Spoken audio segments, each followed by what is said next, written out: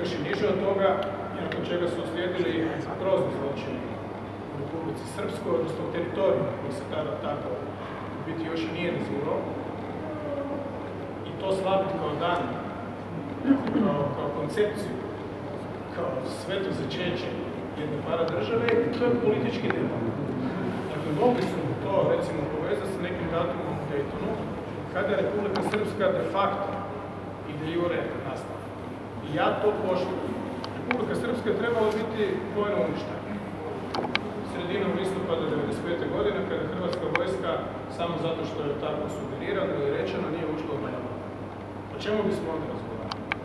Dakle, razgovaramo o Republici Srpskoj koja je nastala u Daytonu. Tko je to potpisao? I Hrvatska.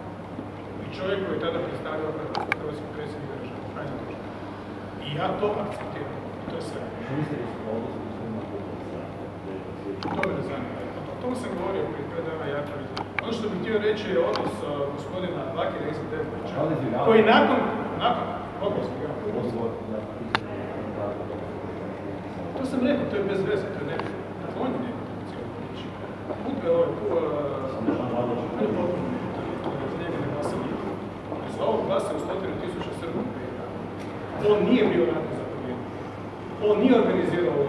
On nije ubijao Hrvati i muslimane 1992. godine, kada su skoro svi Hrvati, ovo govorim kao predsjednik Hrvatske države, koja je i nacionalna i etnička država, ako tako hoćete, a tako jest. Dakle, s time Dodika ne mogu povezati, hvala Bogu. Jer ovi drugi su gori. On je sugovornik i da, on nije šovinist.